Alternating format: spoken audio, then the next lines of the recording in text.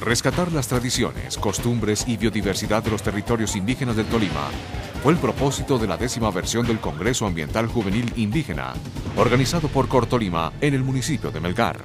Eh, el Congreso Juvenil Indígena es un espacio que la Corporación Autónoma Regional del Tolima brinda a las comunidades para que intercambien saberes ambientales y costumbres entre ellos.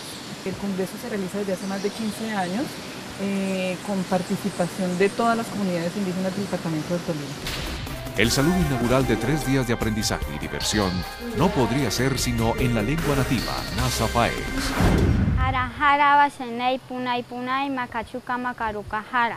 Que los dioses bendigan nuestra madre tierra, a los hombres y mujeres, para que los guíe por el camino bueno. Durante el evento se presentaron 32 proyectos ambientales.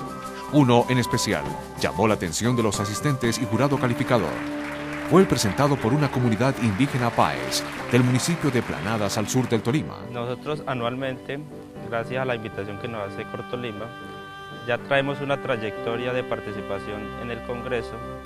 Entonces, eh, anualmente nos preparamos y buscamos una necesidad primordial a solucionar en las veredas y por medio del proyecto entonces buscamos la ejecución de los recursos.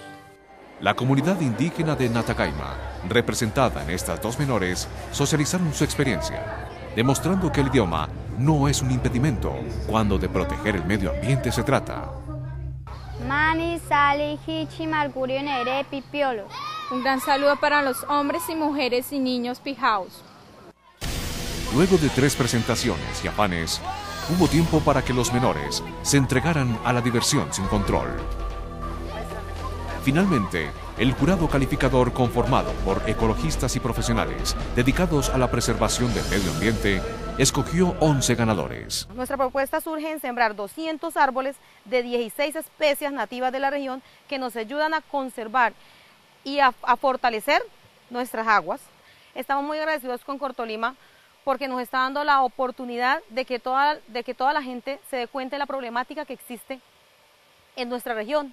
Eh, que conservemos nuestro medio ambiente en unión, que todos unidos conservemos el medio ambiente y que todos apuntemos al cuidado de la biodiversidad.